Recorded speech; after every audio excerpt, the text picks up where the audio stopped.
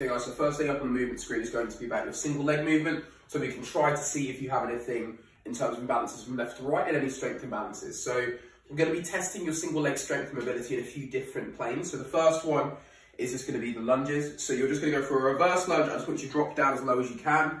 Stand back up. Try to touch your back knee to the floor as close as you can. So you're just going to do one or two reps facing this way.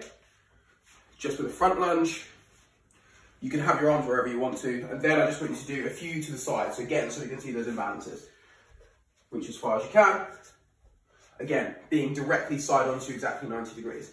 The next thing you're going to do is then just a side lunge. You can do these as a Cossack, so you can step into it, or you can do it just facing like this. And I just want you to try to get as close to here as you can into that side lunge.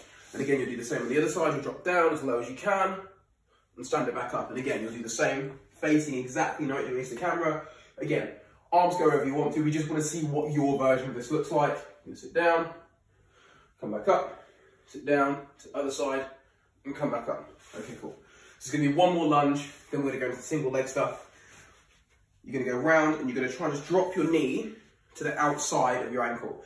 And again, to the other side, drop your knee to the outside of the ankle and stand up. And then same, facing 90 degrees on, knee to outside of ankle, and again, knee to outside of ankle and stand up. Last one for the single leg is going to be a single leg Romanian deadlift. So you can reach your arms out in front, or you can reach them down towards the floor, doesn't matter too much. We just want you to start with your leg in the air, hinge back into a Romanian or stiff leg deadlift, come back up, keep this leg off the floor so we can check the balance. One or two reps in each leg. So again, I'll do two on the other, hinging through, hinging through, and the same facing exactly 90 degrees on. Hinge through,